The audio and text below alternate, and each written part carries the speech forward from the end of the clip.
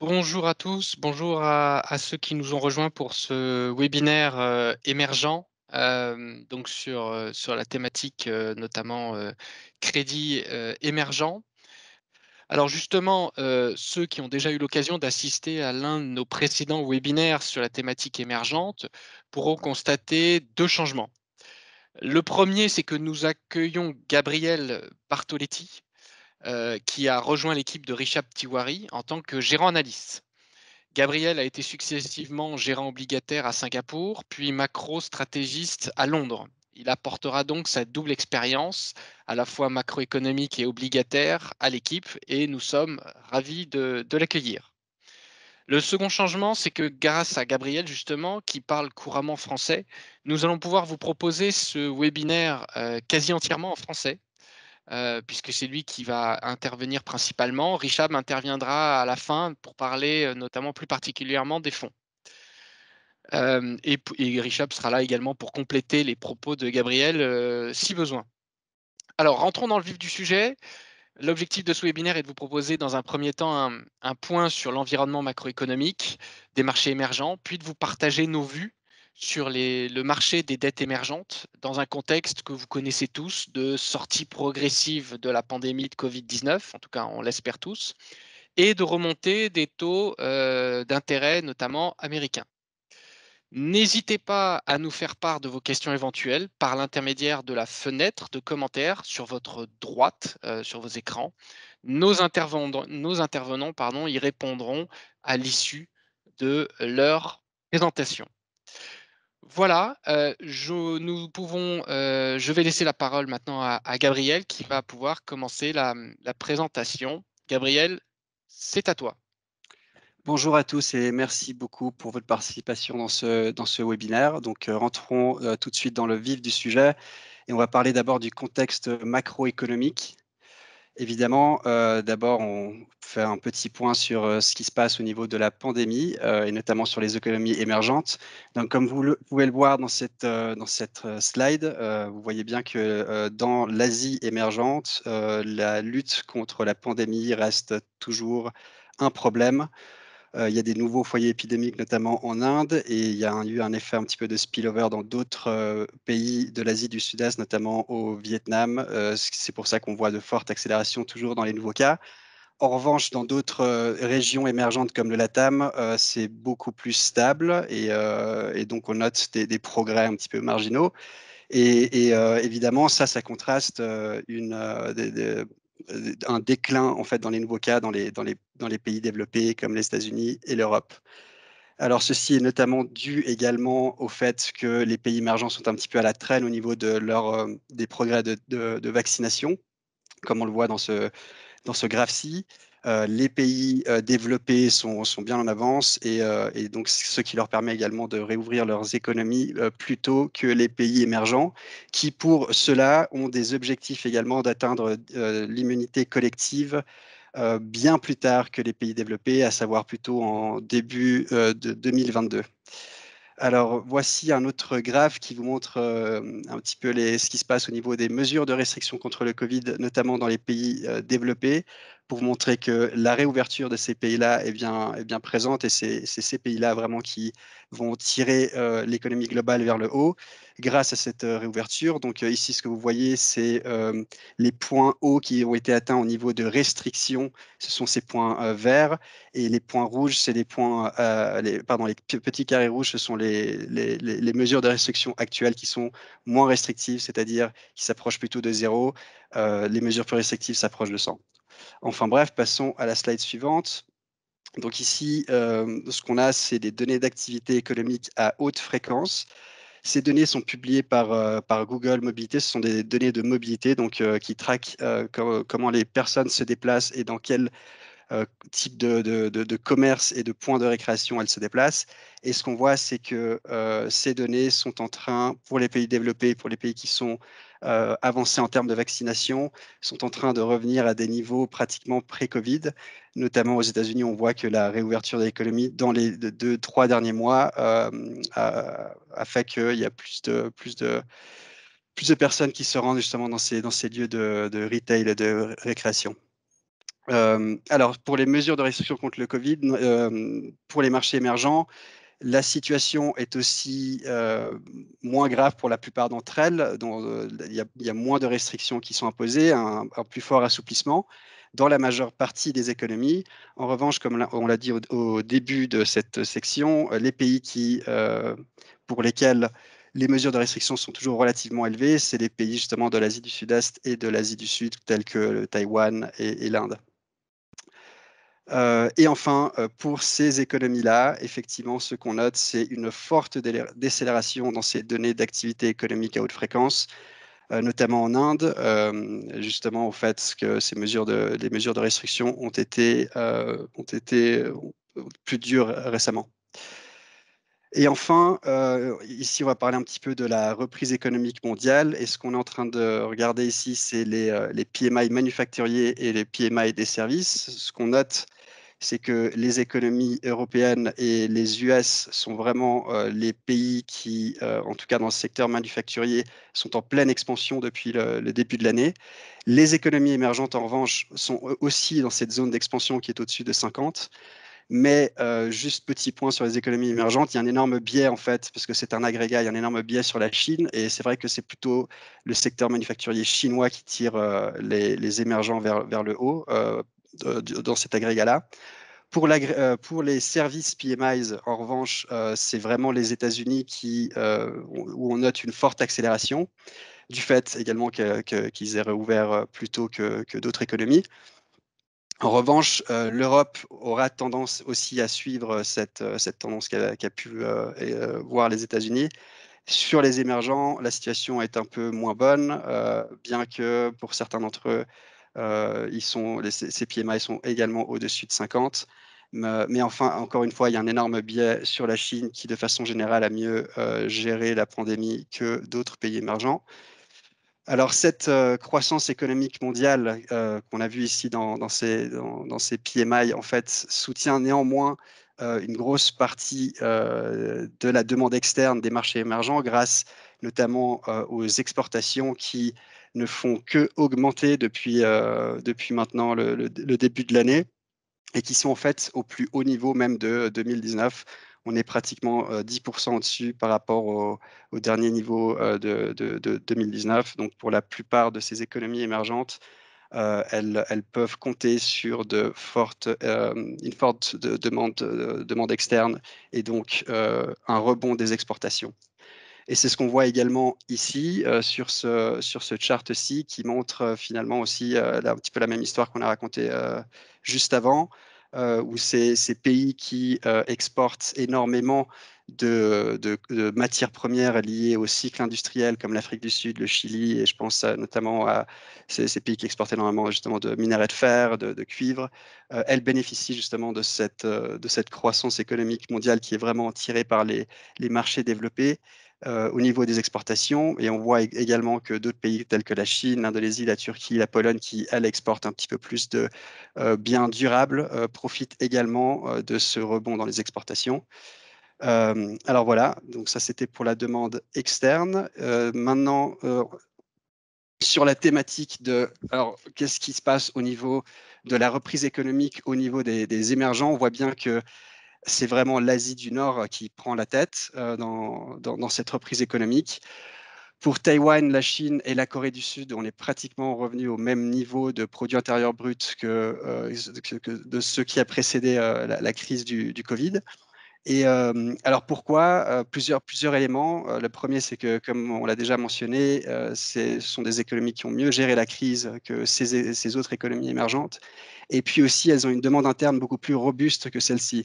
Alors si ici le, rebond dans ces économies-ci, par exemple comme l'Indonésie, le Mexique, était plutôt euh, justement tiré par les exportations, ici ces pays-là ont pu toujours compter sur une demande interne relativement robuste.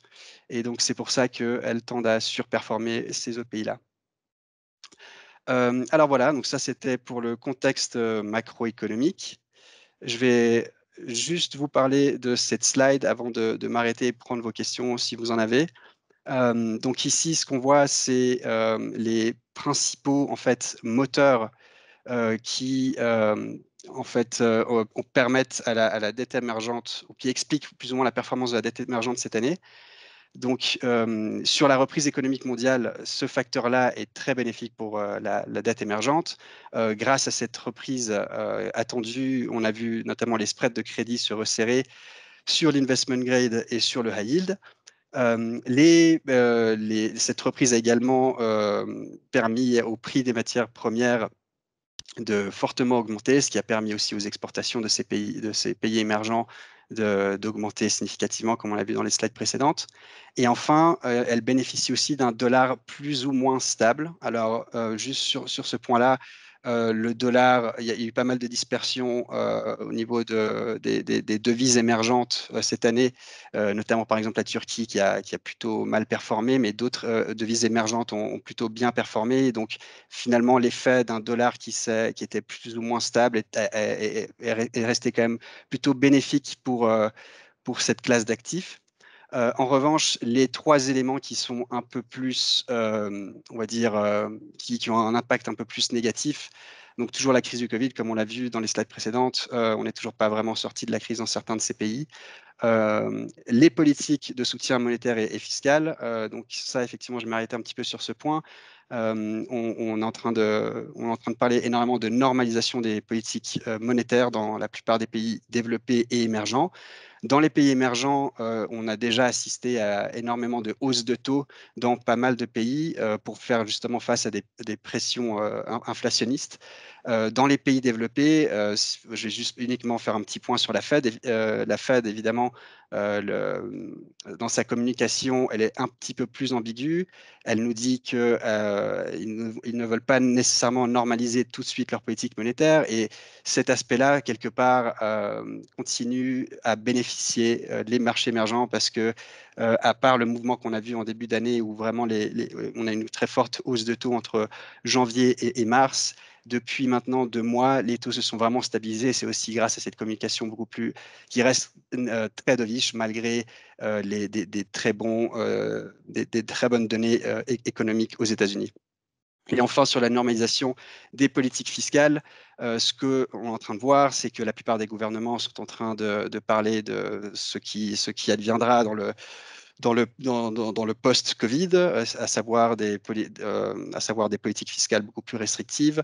et, donc, et donc ça c'est effectivement aussi un facteur qui ne bénéficie pas nécessairement la classe d'actifs de la dette émergente. Et, d'ailleurs, il y a une incidence sur ce point-ci, euh, sur l'augmentation des, tensions sociales et géopolitiques. Ce qu'on a pu noter dans les deux derniers mois, c'est énormément d'augmentation des tensions sociales, notamment dans, certains, dans certaines régions comme la région LATAM. Et justement, ça, ça a été un petit peu provoqué du fait que euh, les politiques de soutien euh, fiscal euh, deviennent de plus en plus restrictives et, euh, on a eu un petit effet euh, très similaire en fait à ce que vous aviez en France, Gilets jaunes notamment en Colombie, où les gens sont, sont, révoltés contre les mesures d'austérité qui ont été proposées par le gouvernement. Et enfin, on a aussi une augmentation dans certaines régions des tensions géopolitiques, notamment entre la Russie et l'Ukraine. en, Israël, au Moyen-Orient également, on a, pu voir ça, et, il y a toujours ces tensions sur, sur la, guerre commerciale entre les États-Unis et la Chine. Donc voilà, donc ça c'est un petit peu les, euh, euh, les, voilà, ce qui, a, ce qui a un petit peu expliqué la performance euh, de la dette obligataire jusqu'à maintenant cette année. et je dois dire que ce qui a vraiment plutôt dominé, ça reste quand même ce thème de reprise économique mondiale. Et en revanche, on est un petit peu plus inquiet sur justement ces augmentations de tensions sociales et géopolitiques. Et on, et on s'inquiète aussi un petit peu des, effets qu'auront cette normalisation des, politiques monétaires et fiscales sur justement cette, classe d'actifs. Alors, sur la partie un peu plus marché, donc ici, ce que vous avez, c'est une représentation des, des différentes classes d'actifs IM et leur performance depuis le début de l'année. ce qu'on voit très clairement, c'est que les classes d'actifs un peu plus cycliques, comme les comme les actions émergentes ont plutôt bien performé depuis le début de l'année, ainsi que les bonds high justement, qui ont bénéficié de ce thème de reprise économique mondiale. En revanche, les classes d'actifs qui ont moins bien performé, on voit notamment les devises, pardon, les obligations en devises fortes investment grade qui ont été plus largement impactés par, par leur duration longue et par cette hausse de taux d'intérêt qu'on a vu au début d'année. Et c'est pour ça qu'elles ont un petit peu moins bien performé. En revanche, elles ont quand même surperformé d'autres classes d'actifs, notamment sur les marchés développés en devises fortes et elles ont également surperformé les, obligations émises en, en devises locales pour les marchés émergents. cette classe d'actifs-là, des devises en devises locales, tend vraiment à sous-performer dans, un environnement haussier de taux d'intérêt.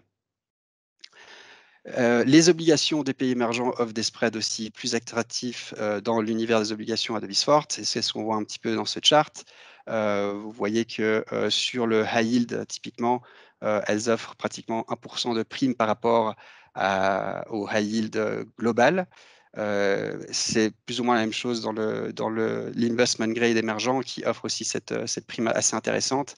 Et, je dois dire que ça permet également à, cette classe d'actifs de mieux absorber des, hausses de taux d'intérêt de façon générale. C'est pour ça qu'elles ont tendance à surperformer ou du moins elles ont surperformé cette année euh, dans cet environnement de, hausse de taux d'intérêt. Euh, les fondamentaux des crédits d'entreprise restent eux aussi plutôt solides. Donc ce que vous avez ici, c'est euh, une comparaison entre les marchés émergents, les US et l'Europe de, leur, de ce ratio de, leverage qui est un ratio d'endettement divisé par le résultat opérationnel. Et en gros, ce que ça vous dit, c'est que si ce ratio augmente, en général, ces métriques de, crédit se détériorent. Et là, ce qu'on voit, c'est que pour les marchés émergents, malgré euh, la crise du Covid, euh, ce, ratio est, resté relativement stable et il, est toujours stable depuis en fait 2016. Euh, alors que pour, pour cette classe les classes d'actifs investment grade et pour les crédits corporate justement US et, et en Europe, il y a plutôt une tendance à la détérioration. Donc, euh, ouais, la conclusion, c'est que euh, les, crédits d'entreprise émergents euh, restent quand même plutôt robustes, en tout cas sur l'investment grade. ici, nous allons parler un petit peu des, taux de défaut. Alors, ce qu'on a vu, et ce qui est intéressant, c'est que sur les actifs émergents, donc ça, c'est les, taux de défaut pour les pour pour l'obligataire à yield. C'est que alors les taux de défaut ont augmenté évidemment durant durant la crise du Covid. Euh, en revanche, elles ont quand même mieux résisté. Si vous voulez, il y a eu 3% de l'univers qui a, fait défaut, euh, mais ça compare, dans le sens, c'est quand même bien inférieur à ce qui s'est passé typiquement aux États-Unis. Et, en revanche, euh, ces métriques-là, cette métrique-là devrait s'améliorer dans, dans, les mois à venir, dans le sens où 2021 ne devrait pas être une année euh, où on devrait voir beaucoup de défauts, en ce sens que la plupart des entreprises sont plutôt bien capitalisées, les résultats nets sont plutôt en augmentation, et donc on est dans un environnement un peu plus sain, euh, même de ce point de vue-là.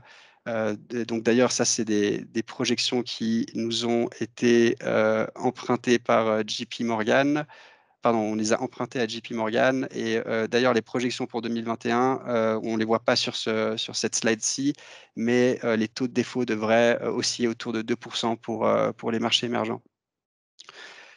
voilà, alors passons à la slide suivante. Ici, on va parler des crédits souverains. Alors, les crédits souverains, c'est effectivement les crédits qui nous inquiètent un peu plus. Donc, de façon générale, on préfère les crédits d'entreprise aux crédits souverains la dette publique a augmenté significativement dans la plupart des pays émergents. On était à 55% du PIB pour les 15 principaux marchés émergents en 2019. Ça a augmenté à 65%. Et la trajectoire de, la dette euh, montre aussi qu'elle aura plutôt tendance à augmenter.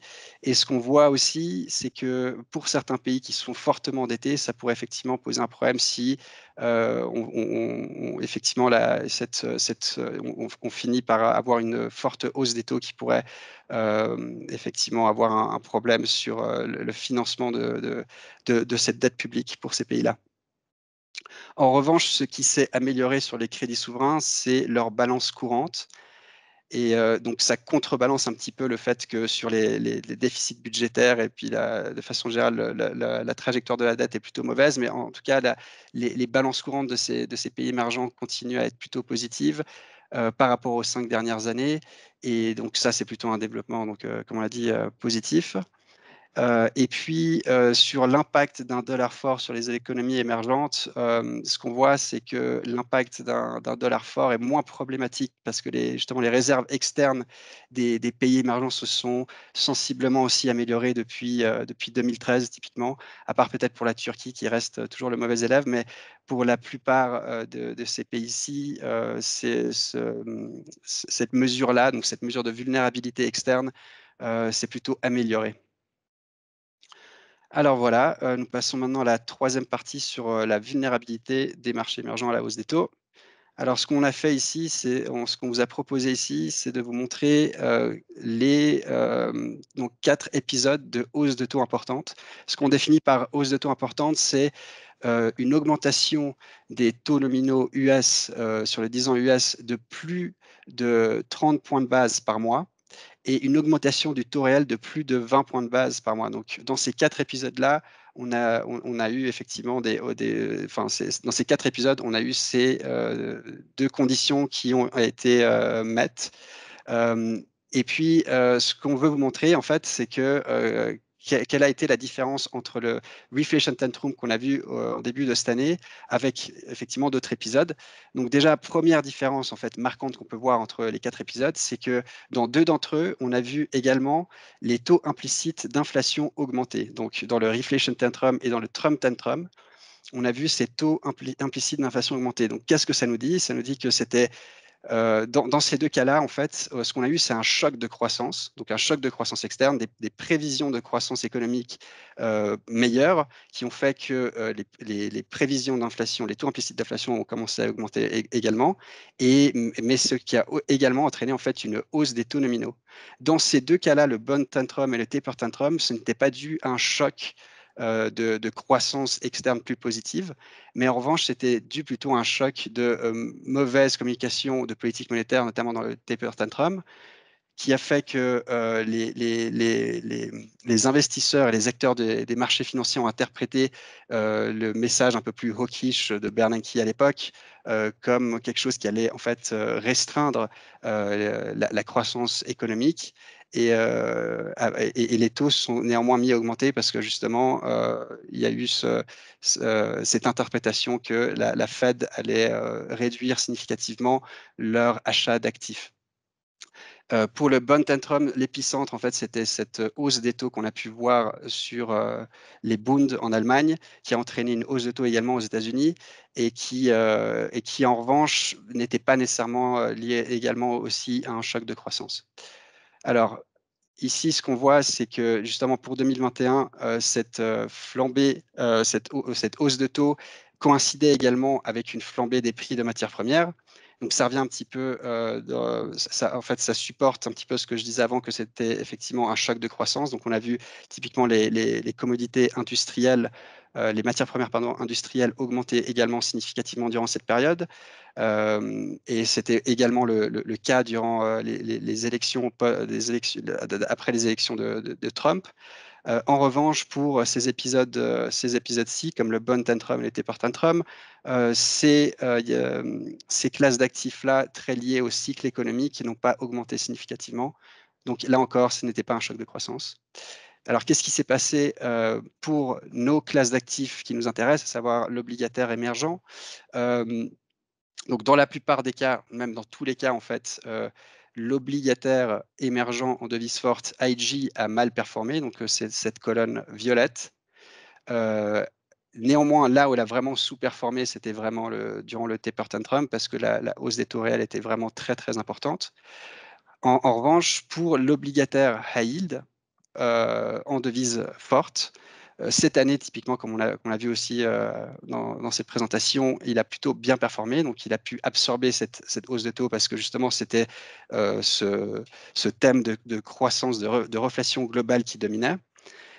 et en revanche, la classe d'actifs dans les émergents qui performe toujours très très mal dans ces hausses de taux, c'est surtout l'obligataire en devise locale.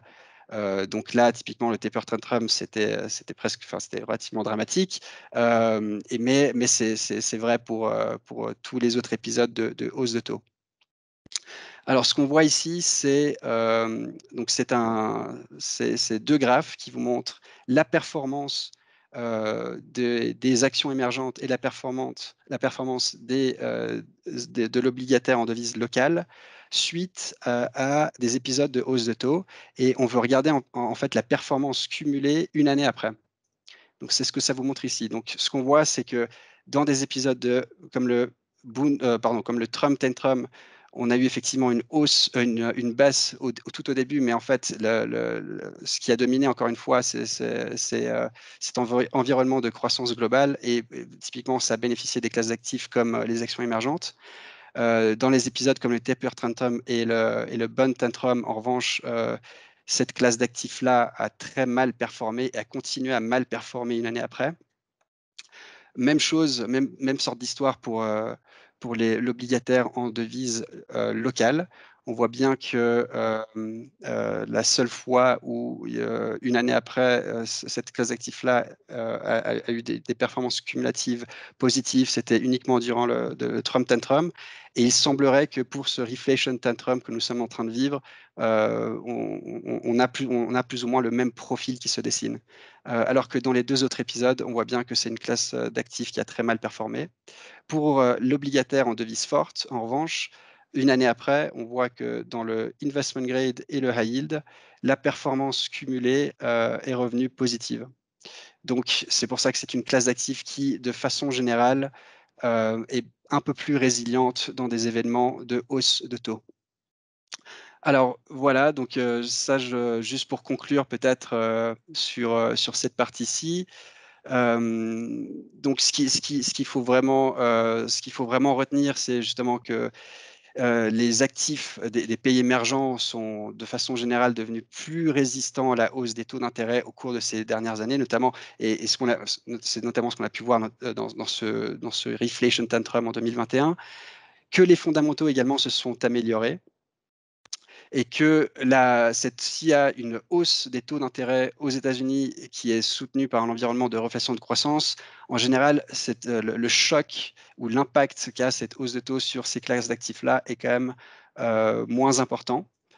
Euh, et, de manière générale, ce sont plutôt, lors de, fortes hausses de taux, ce sont plutôt les actions émergentes et les obligations locales des pays émergents qui ont tendance à sous-performer le plus. En revanche, les obligations en devises fortes sont un peu plus résistantes, euh, et notamment les obligations euh, high yield.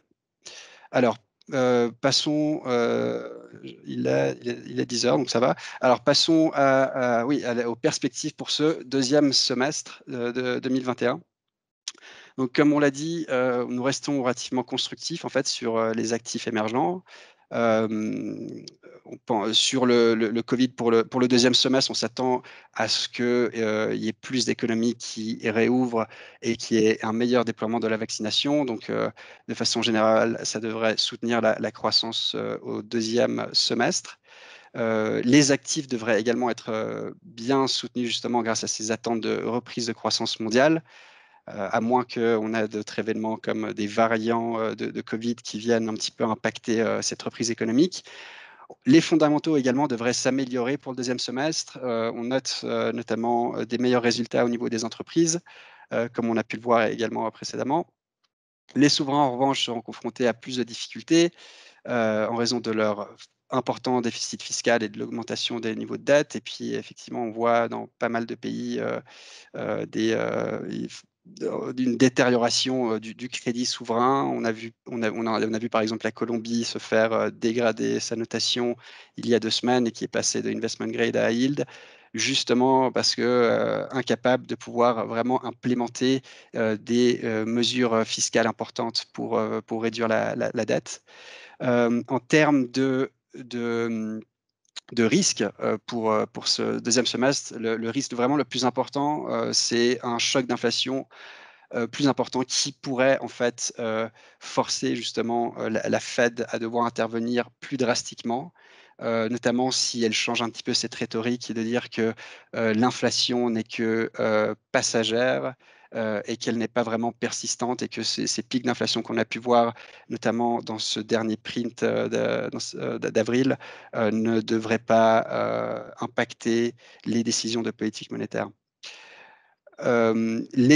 enfin, le, risque d'une aggravation des tensions sociales est un, est un risque que, l'on surveille vraiment de près parce qu'il y a pas mal de pays qui, notamment, comme on l'a dit déjà, dans la zone LATAM, qui font face à ce genre de tensions, comme, comme la Colombie, mais aussi le, Chili ou encore le, Pérou. On a eu des élections récemment et qui montrent que l'électorat est très divisé entre deux candidats populistes de, de gauche comme de droite. Euh, et enfin, les, tensions politiques, euh, géopolitiques, pardon, qui sont toujours euh, quelque chose à surveiller parce qu'elles peuvent toujours ressurgir. Mais cependant, on reste quand même constructif pour le deuxième semestre. vraiment, on pense que c'est ce, thème de reprise économique mondiale qui va, qui va dominer et qui va permettre à la classe active de pouvoir performer relativement bien. alors, sur les euh, obligations des marchés émergents en devise forte. Euh, on pense aussi que les, euh, elles, continuent à avoir un profil très, un profil risque rendement toujours très attractif. notamment les niveaux de spread actuels, ce qu'on a pu voir également dans notre deuxième partie, restent, malgré qu'ils soient très serrés, restent plus ou moins euh, attractif d'un point de vue euh, relative value par rapport à, des spreads de, aux spreads de marché développés. Ils ont également des fondamentaux qui restent relativement solides. Et enfin, les, facteurs techniques, donc euh, tout, ce, qui est euh, en, relation avec les nouvelles émissions qui sont attendues pour le reste de l'année, devraient, sont, favorables dans le sens où la plupart des entreprises émergentes que l'on suit ont, déjà émis énormément de dettes en, 2020 et n'ont pas besoin nécessairement d'augmenter cette dette-là, d'autant plus que les CAPEX de la plupart des, entreprises émergentes ont plutôt tendance à baisser cette année. Et donc, il y a un moins grand besoin de, financement, mais en revanche, la demande pour ce genre de crédit reste forte parce que, euh, comme on l'a dit, comme on l'a vu, euh, elles offrent un, spread plus attractif. Euh, et enfin, on est de façon générale un petit peu plus négatif sur les, les, crédits souverains. On préfère effectivement les crédits d'entreprise. Euh, et, dans un contexte de reprise économique mondiale, on, préfère aussi les, crédits un petit peu moins bien notés euh, dans, euh, dans, le spectre de, l'investment grade. Donc plutôt des triple B, des triple B minus. voilà, je, vais, m'arrêter là et je vais passer en fait la, la, parole à Richab qui va nous faire une revue de, de nos produits, de nos fonds. So Richab, can you take over, please? And talk about our products and uh, our funds? Maybe just before um, uh, Gabriel, there, yeah. there, there is a question ah, ouais. uh, for you. Um, en fait, euh, ça a peut-être été abordé, mais euh, on entend parler de plus en plus de la hausse des matières premières, notamment en alimentaire, et que les conséquences pour les pays émergents pourraient être significatives. Vous en parlez notamment pour la TAM. Qu'en est-il pour les pays d'Asie? Euh, alors, c'est euh, effectivement, euh, pour les pays d'Asie, notamment les pays comme l'Inde, c'est toujours un, risque.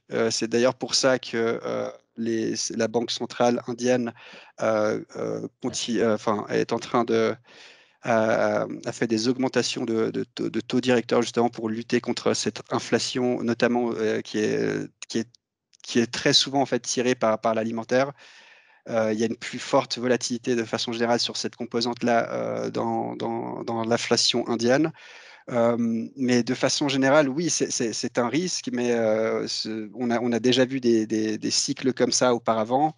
Je, crois, mais il y, a y a aussi une forte saisonnalité, notamment sur, les, sur les prix alimentaires, alors que peut-être pour d'autres prix de matières premières, en fait, ce qu'on voit, c'est plutôt des problèmes de contraintes de supply, d'offres. Euh, sur l'alimentaire, il y a une, certaine saisonnalité. Donc, euh, effectivement, c'est un, un risque, c'est sûrement un risque, euh, mais, mais je pense que les, les, typiquement les banques centrales des pays où ce, cette inflation augmente significativement est en train, prennent des mesures justement pour, pour limiter cette, cette hausse de prix.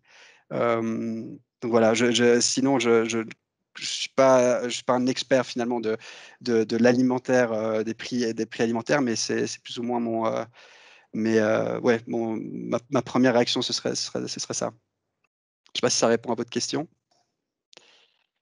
Je pense que ça doit y répondre. Une autre petite question avant de passer au, produit. Euh, en conséquence de ce que vous dites, vous réduisez l'exposition LATAM, point d'interrogation. Je vois près de 20%. Euh, et est-ce que vous augmentez l'expo à yield alors, en, conséquence de ce qu'on dit sur euh, l'expo yield, donc les, crédits un peu moins bien notés, ça, effectivement, oui, on prend plus de risques de crédit. Sur l'exposition LATAM, alors c'est vrai qu'on est toujours investi dans la région. En revanche, on fait un peu plus attention, même si euh, je dois dire que dans la plupart des pays LATAM, on a, on a pu voir euh, des, risques idiosyncratiques augmenter. Mais les pays dans lesquels on est un peu plus prudent, c'est justement ceux qui font face à un nouveau cycle électoral, comme typiquement le, Pérou, qui pourrait un petit peu changer la, trajectoire de leurs politiques qui vont être implémentées. Et on fait aussi un petit peu attention effectivement à la, Colombie, parce que bon, elle vient d'être euh, downgradée et et de façon générale, euh, les, tensions sociales euh, subsistent. Donc, euh, il y, a certains pays où on est un petit peu underweight, d'autres on va être plutôt overweight, mais, mais oui, il faut, il faut faire plus attention effectivement dans cette région-là de façon générale. voilà, donc. Très sélectif. Plutôt sélectif. Je me permets juste de préciser ce que vient de dire Gabriel au sujet de l'exposition à yield. Euh, en fait, pour rappel, et, Richard allait le, le préciser euh, juste après, euh, pour rappel, nos fonds de crédit émergents sont, pour le fonds à duration intermédiaire, est exclusivement investi sur de l'investment grade donc il n'a pas la possibilité d'avoir du high yield. Après, on peut aller chercher, j'imagine, c'est ce que voulait dire Gabriel. Exactement, chercher pardon, des notes. Pas été suffisamment précis. On va, on va chercher des notes effectivement moins bien notées dans l'univers investment grade. Voilà. Exactement. Et en revanche, pour le fonds court terme à duration courte, lui, il s'autorise une latitude de 10% de high yield. Et j'imagine que c'est là-dedans que vous allez également augmenter votre exposition. Exactement. Et encore une fois, je, laisse la main à Richab pour parler de cela parce que euh, il est. Gabriel, excuse-moi, il y a encore une question tant qu'à faire, euh, autant, autant l'aborder. Euh, est-ce que la, situation macroéconomique américaine a plus d'impact finalement sur le crédit émergent que la macro des émergents à proprement parler, notamment de l'Asie du Nord? Et elle pense, on pense notamment à l'inflation chinoise. Quel est l'impact sur, sur les, le crédit chinois? Alors, très bonne question. Effectivement, ce qui compte le plus pour notamment les, crédits émergents qui sont libellés en, monnaie forte, donc en, façon générale, ce sont des entreprises qui ont des revenus en dollars parce qu'elles exportent. Et, et, donc, elles ont un plus gros bêta, finalement, à la, une plus grande sensibilité à la croissance américaine. Donc, effectivement, si la croissance américaine est forte, ou du moins la croissance ce que, ce que je définirais du G3, c'est-à-dire les États-Unis, l'Europe et la Chine. Donc si dans ces pays-là, la croissance est forte, la classe d'actifs émergents libellés en dollars est plutôt, est plutôt, euh, est plutôt forte aussi. Euh, euh, en ce qui concerne l'inflation chinoise, je, dirais, que le risque ici, c'est que en fait, l'inflation chinoise peut aussi donner la tendance sur l'inflation globale de façon générale. Donc, si, la Chine exporte de plus en plus d'inflation, nous, en tant que peut-être en tant que, pays développé, on importera cette inflation et cette inflation va impacter également l'inflation dans nos pays. Donc, oui, le fait que la Chine reporte une, plus de pression sur les prix peut impacter également les, les, les, pays développés. Euh, et, down the line, en fait, euh, effectivement, cette classe d'actifs euh, des, des, émergents en, obligataire en devise forte.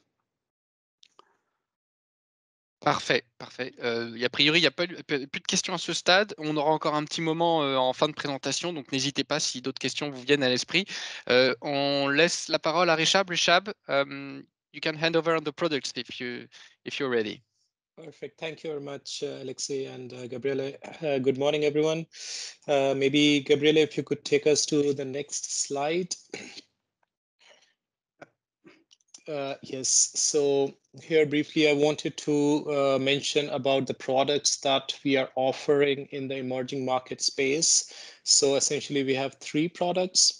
Uh, I would go one by one. Our first product, which is also the oldest product that we have, is uh, uh, Swiss Life Funds Bond Emerging Market Corporates. This is a pure investment grade product investing in hard currency bonds, uh, which means predominantly in US dollar bonds. Uh, we do have exposure to euro bonds as well, but uh, as the market uh, of euro denominated bonds in emerging markets is still growing and, and uh, small, uh, so is our exposure in the portfolio. Uh, the fund was launched back in 2014, and here our strategy is to essentially invest in investment grade rated bonds across uh, across the emerging markets, uh, which essentially means Asia, uh, Middle East, Africa, Europe, and uh, Latin America. The fund is above $650 million, actually around $680 million in, in total assets. Uh, this is uh, this is offered in dollar share class as well as a hundred percent euro hedged share class. As of uh, now, the yield to yield to maturity of the fund is uh, slightly over three percent, three uh, and a quarter percent, and a duration of slightly over five and a half half years. So I would say medium duration risk and uh, still attractive uh, yield to maturity. These uh, figures, of course, are in dollars. In when it, we convert it into euro, then uh, you have to adjust for hedging costs, uh, which actually has come down quite a bit. Uh, currently, the hedging cost in, in, dollar to euro is approximately one percent. so this is product number one. then product number two is Swiss Life Funds Bond Emerging Market Corporates Short Term here the product is uh, similar to the first one, but focusing only on the front end of, uh, of the maturity. Uh, meaning that in this fund, we are investing in uh, two to three year, uh, maximum four year uh, paper, four year maturity bonds. also, US dollar denominated, predominantly some euro, uh, but no local currency. Also in previous fund, we do not invest in local currency. Uh, this is also an investment grade product, uh, meaning the benchmark of the product is 100% investment grade. However, because of the short maturity, we have allowed a tactical quota of 10% where we can invest in uh, high yield bonds, but only up to double B. So here uh, we are also not uh, targeting very, very low credit ratings. This fund was launched three years ago in 2018 or end of 2017, so three and a half years ago. The assets uh, for this fund uh, are above 260 million uh, dollars. I, I, would like to mention uh, that we do not have too many funds. Actually, there is no other fund which uh, uh, does similar strategy, meaning a short duration but investment grade focus. Uh, we do have other funds which are doing uh, short duration emerging markets, but they are predominantly focused on high yield. Uh, similar to other funds, here also we are offering 100% euro hedged share class uh, in addition to dollar and Swiss franc share classes. The yield to maturity of this fund is 1.6% uh, with a duration of 1.5 years. The prime, uh, main advantage of this fund is it is uh, quite low risk, especially when we are looking at rising interest rate environment. This fund has a very, very low risk uh, uh, from, from that perspective. Uh, last fund, which we actually launched just end of last year in December, is uh, Swiss Life Fund Bond ESG Emerging Market Sovereigns. Uh, this is a ESG dedicated fund uh, that we have launched. And as the name suggests, this fund invests in sovereigns, unlike the other two funds which are focusing on corporates. Here, our focus is sovereigns. Uh, however, once again, in uh, predominantly in US dollar and some in euros. Uh, this has uh, we are using quite a quite a many ESG criterias for this fund. Uh, we, we are using our own proprietary ESG scores proprietary ESG research as well as uh, scores to uh, make investment decisions. For example, we are not investing in the bottom 25% of the countries, uh, which, for example, excludes countries like China and India, which are which are uh, large issuers. We, we, we do not invest in these countries, or for example, Saudi Arabia. So these countries we are uh, we are we are not investing. Uh, as I mentioned, this was just launched six months ago. Uh, this this is slightly higher duration product because in general the sovereigns sovereign bonds in uh, in emerging markets are uh, uh having higher uh, duration. So duration of this fund is eight and a half years, and yield to worst is uh, slightly over four percent. I have to mention that the fund invests across the rating spectrum, unlike the other two products which are focused on investment grade. This fund invests across the rating spectrum up to single B minus. We are not investing in triple C rated bonds because we believe that the risk return profile there is not attractive. However, up to single B minus, uh, we invest through this fund. Uh, I would uh, quickly want to show the performances of the funds. So maybe Gabriel, if you can go to the next slide. Here is the first fund. This is the Bond Emerging Market Corporates Fund. Uh, in dark red, you see uh, our fund, uh, this one, uh, and we have chosen funds which are doing the exactly the same strategy. There are not too many funds also in this strategy meaning pure investment grade. Majority of the funds in emerging market hard currency space you would find is uh, blended funds. Uh, so that is why you don't see a lot of funds here. However, our performance has been good. Uh, for example, uh, uh, this year uh, also we are among the top performers and also historically we have been we have been top performers both on total return but also more importantly on Sharpe ratio or risk adjusted returns if we can go to the next slide here you see uh, our fund, the short-term corporate fund, uh, and the here it is in the middle, this one. So again, red line, dark red line here. As I had mentioned, and rest of the funds are other short duration emerging market corporate funds. However, they are not really comparable because as I mentioned that we are predominantly focused on IG, investment grade. We are also focused primarily, uh, our benchmark is 100% IG, whereas other funds are predominantly focused on high yield typically all of these funds have more than 30% high yield quota and no rating restriction. And this is uh, clear when you also see the performance here uh, and the drawdown. I would especially like to point it over last year's first quarter performance uh, when every fund uh, into 2020 when uh, we had the COVID crisis and every fund was dropping significantly. We had a drawdown of less than 3%. Uh, which is quite uh, quite uh, uh, uh which is something that is representative of the risk return profile of this fund. every other fund, even the short duration funds, lost more than 10% during that period. So we have been quite quite resilient and, and it is a very low volatility product, as I had mentioned earlier.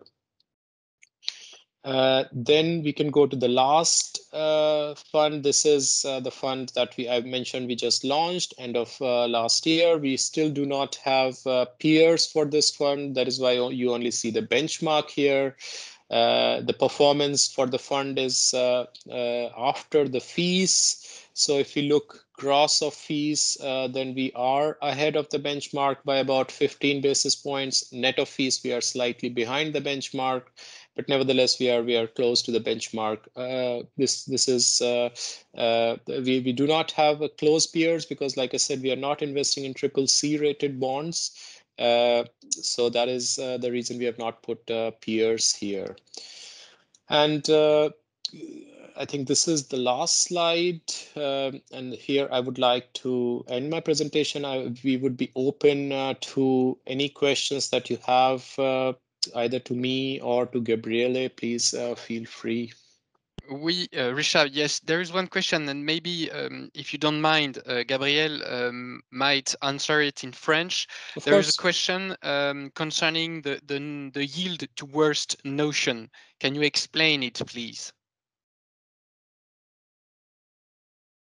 Or the yield to worst uh, on uh, you mentioned on uh, on the funds, so c'est le, le, rendement actuariel euh, des fonds qui, euh, qui tient compte euh, d'éventuelles dates de, de, de, remboursement anticipé, c'est-à-dire c'est le rendement au pire. Ah, on t'entend pas, Gabriel. Le micro est coupé. Oui, oui, non, pardon, euh, j'ai pas, entendu la question, mais j'entends, j'ai entendu, tu as répondu à la question du coup, Alexis. Euh, alors oui, enfin, peut-être que tu peux compléter. Donc là, il demandait quelle était la notion de yield to worst. J'imagine en comparaison au yield to maturity, le rendement actuariel, la différence entre les deux. Euh, oui, donc le yield to maturity, c'est le yield que vous avez quand euh, sur des, ce qu'on appelle un format non-callable bond, c'est-à-dire que votre, votre bond va à maturité. Le yield to worst, ça prend justement en considération euh, le fait que vous avez une optionnalité dans certains de ces bonds, et c'est pour ça que c'est une meilleure mesure quand vous avez des, notamment des callable bonds, donc des bonds qui peuvent être collés un petit peu avant. C'est ça. Je ne sais pas si ça complète le, rendement euh, yield to worst est inférieur euh, au, yield to maturity, donc c'est une notion plus conservatrice. Exactement. Euh, écoute, il y a une question. Alors, bien sûr, on nous demande les, les, codes d'usine des fonds. Mmh bien entendu, on vous les, on vous les précisera parce qu'à chaque fois, pour chacun des fonds, vous avez des parts qui sont libellées en, en dollars ou en euros avec des parts retail, clean share et, institutionnel. Donc, on vous fera part de ça, ainsi que on vous enverra bien entendu le, support de la présentation. On vous fera parvenir dans les, plus brefs délais. Il y aura, comme la présentation est enregistrée, il y aura également un replay qui sera, qui sera disponible. il ne me semble pas voir d'autres questions. Je ne sais pas si vous, si Gabriel ou Richard, uh, if you had some things you wanted to add um, or not? Euh, non, pas, pas, pour ma part. En tout cas, je vous remercie pour votre attention et puis surtout, n'hésitez pas à nous envoyer des, des questions si, euh, si, vous en avez. Euh, euh on est toujours très, très content de, de répondre à ces, à ces questions on, a la chance, effectivement. Alors, Gabriel et, Richard euh, sont basés, euh, vous savez que nos, gérants sont basés soit à Paris, soit à Zurich. Euh, Gabriel et Richard sont basés tous les deux à Zurich, mais ils sont, et je, confirme, et je pense que certains d'entre vous peuvent le confirmer, ils sont disponibles pour des calls si besoin. Euh, donc, n'hésitez pas à nous solliciter. Voilà. Il y a une dernière question qui vient d'apparaître euh, sur est-ce que vous pourriez faire un petit point sur l'émetteur Warong? Je ne sais pas comment si je le prononce bien ou pas. Ouais, alors euh, peut-être c'est une question plutôt pour Richab qui est plus au courant de ça. Richab, Richab can you take that one? Uh, it's a, there is a question concerning the Warong um, uh, iSure. Mm -hmm. Absolutely.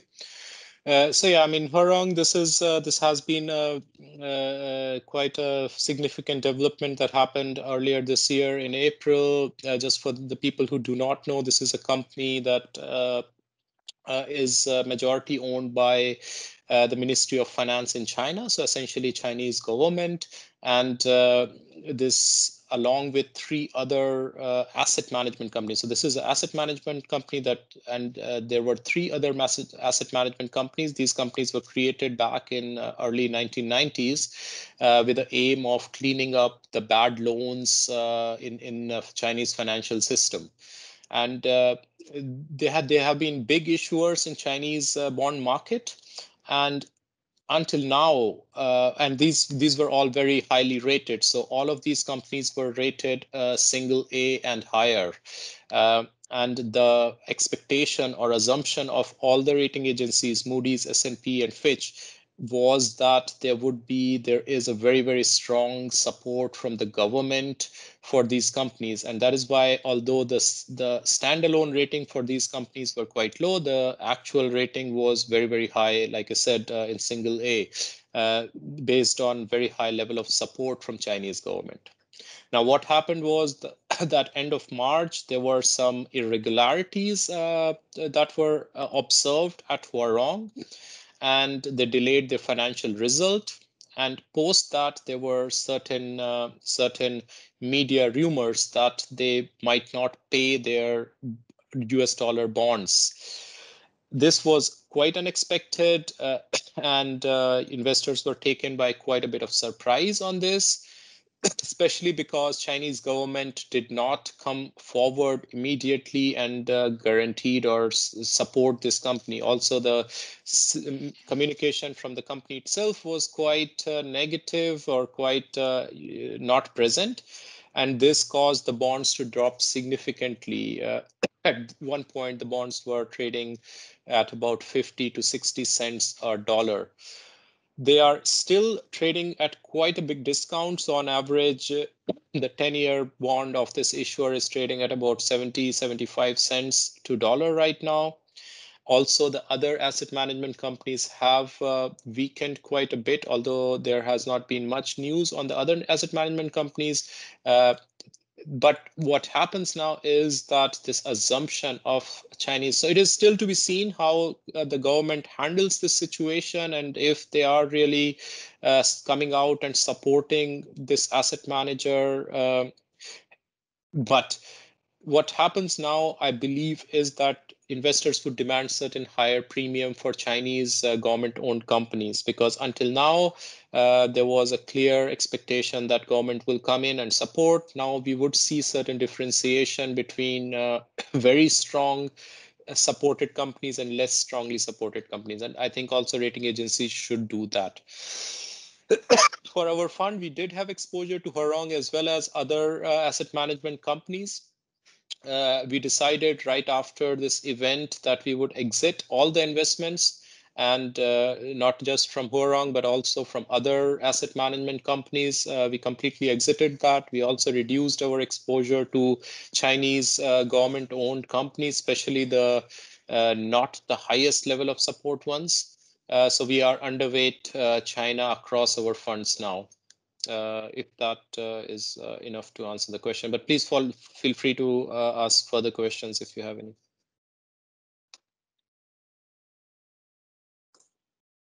Thank you, thank you, Rishabh. Uh, there is a um, uh, another question about um, Chinese bonds.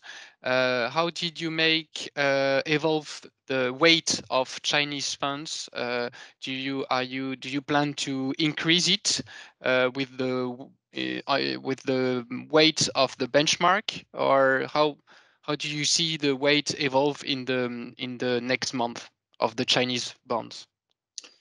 So, um, as I mentioned, that we have decided to go underweight China so we do not plan to increase the exposure to China. In the benchmark, it is uh, in the corporate benchmark. In, in the sovereign fund, we do not invest in China. Like I said, it, it, uh, it is below our ESG criteria.